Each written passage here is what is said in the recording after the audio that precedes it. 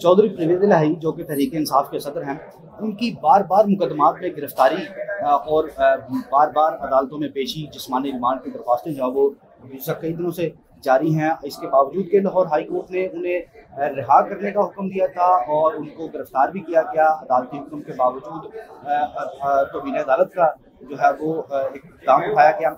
इस पर गुफ्तु करने के लिए तहरीक इंसाफ के सदर चौधरी परवेज लाही के वकील राना इंतज़ार हुसैन हमारे साथ मौजूद हैं। उनसे ये जानते हैं कि आज भी चौधरी परवेज लाही को कुछ मुकदमात में जिसमानी रिमांड के लिए पेश किया गया है।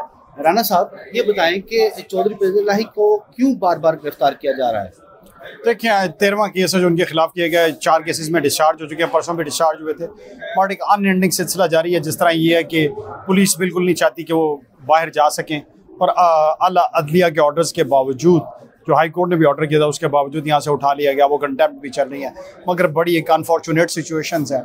और इस पर जो है हकाम वाला जो उनको एक्शन लेना चाहिए, कि बिल्कुल जो एफ़ आई आर है, उनके खिलाफ वो एक भी साबित नहीं हो सकी। बहुत सारे केसों में डिस्चार्ज कर दिया गया।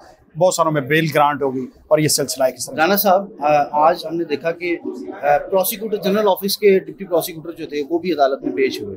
और आपने उस पर इतराज उठाया कि एंटी करप्शन के अपने प्रोसिक्यूटर्स होते हैं। इस पे क्या आर्गूमेंट थे और नहीं ऐसी कोई बात नहीं वो भी वो भी हमारे समाज से भी हमारे भाई हैं। वो तो चले रोस्टम की बातें और होती हैं। और हमारे लिए रिस्पेक्टेड है उनके आर्गूमेंट पे उस वक्त।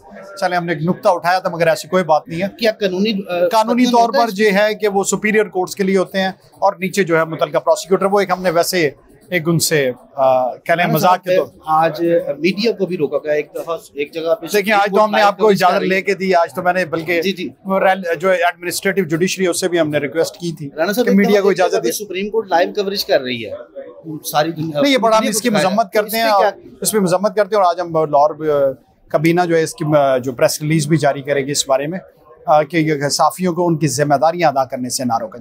हाँ इतना ज़रूर है कि जो एस ओ पीज़ हैं आपको उनको फॉलो करना चाहिए मगर आपको जो मुतल जो है उनको रोकना जो है पुलिस की ये हम इस इकदाम की मजम्मत करें अच्छा ये जो आज जिन मुकदमात में चौधरी साहब को जिसमानी रिमांड के लिए पेश किया गया है ये इनमें इल्ज़ाम क्या है देखिए वो बिल्कुल झूठे मुकदमे हैं। छब्बीस तारीख को एक नोटिफिकेशन हो रहा है।